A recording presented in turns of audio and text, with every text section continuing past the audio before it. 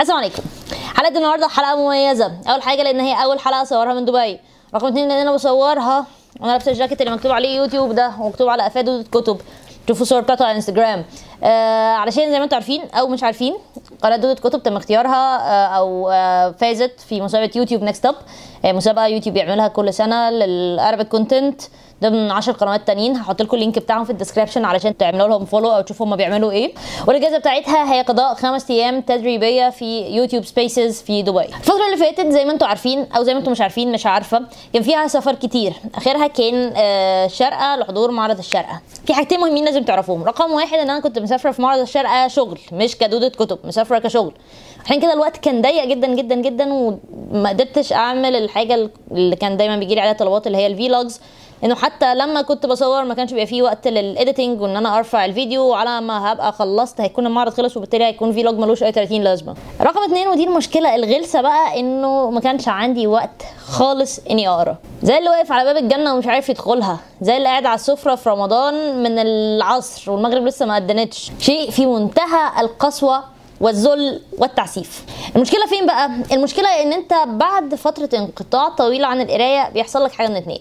رقم واحد لو أنت شخص محظوظ أنت بتيجي تقرا بعد كده بنفس مفتوحة جدا عايز تعوض اللي فاتك وتعمل بدل ال target target ين وبدل ما كنت هتقرا بس 3 4 كتب هتلاقي نفسك خلصت 10 كتب. رقم اتنين أو الحالة الثانية لو أنت ما كنتش محظوظ قوي أنت هتدخل في reading slump مش عارف تقرا ومالكش نفس تقرا ومفيش أي حاجة عارفة ترجعك تقرا. وده اللي حصل لي. المهم وبدون دخول في تفاصيل ولت وعجن كتير. فضلت قاعدة مسكينة مش عارفة أقرأ إيه. حتى اليومين الأجازة اللي خدتهم عند أهلي. يومين الأجازة مش عارفة أقرأ فيهم حاجة.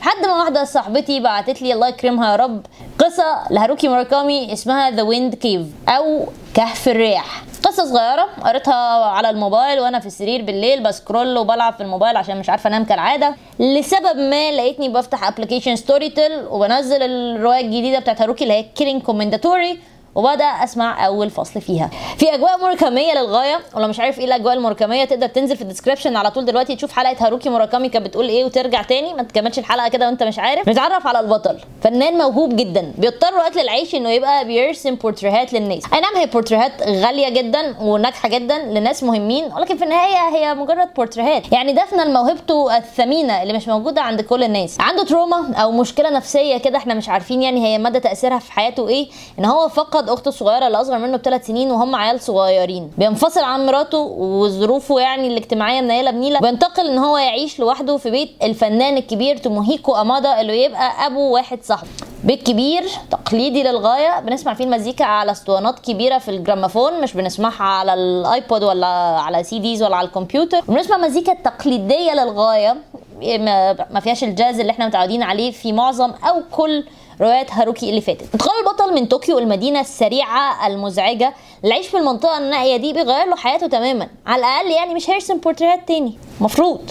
بس الفكرة مش في المكان بس. هو بينتقل من المدينة المزعجة للصمت القاتل. بينتقل من الحياة الزوجية المعتمدة على المشاركة يعني وانتوا عارفين للوحدة القاتلة. ومن خلال الهدوء والصمت والوحدة دي بيبدأ البطل يتعرف على نفسه. حرفيا حرفيا. بيبدأ يسمع أفكاره. الرواية بتحاول تجاوب. لا هي الرواية بصراحة مش بتحاول تجاوب. هي الرواية بتتناول فكرة معينة وانت المفروض تحاول تجاوب بقى عليها انت وتشوف رأيك إيه. لكن هي فكرة بيتم تكرارها كذا مرة على لسان كذا حد من أبطال الرواية. والفكرة بتقول إنه في حاجات كتير في الحياة مش هيضرك عدم معرفتها.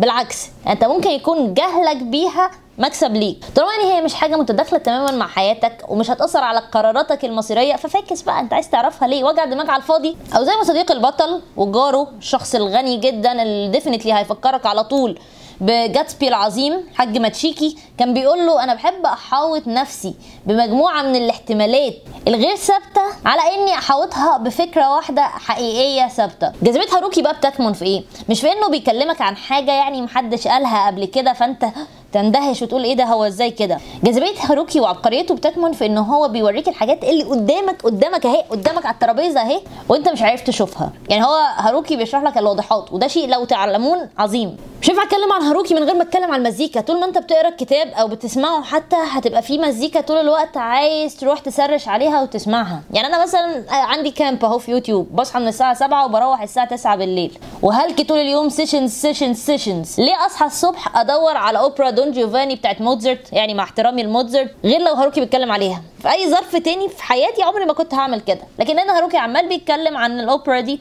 وأنا بقيت بصحى من النوم الساعة 7 الصبح بفتح اليوتيوب وبسمع أوبرا دون جيوفاني لموتزارت فالحلقة دي تعتبر شكر لهاروكي شكر لهاروكي إن هو موجود. أدام الله عزه وبقائه إن هو قدر يرجعني أقرأ وأنا كنت متخيلة إن أنا هطول شوية في ال reading slump ده. شكرا لغادة إن هي جابت لي Killing Commendatore hard cover قبل ما تنزل مصر. هي لحد دلوقتي حتى ما نزلتش مصر. و thank you لاني thank you اني علشان خاطر هي اللي بعتت لي ال story بتاعت موراكامي اللي خلتني أنزل Killing Commendatore وشكرا ل Storytel إن هم ادوني membership لمدة سنة مجانا علشان أسمع الكتب اللي على ال application لأن هو Killing Commendatore ما كانش موجود غير عندهم. ونحب نشكر ساعي البريد.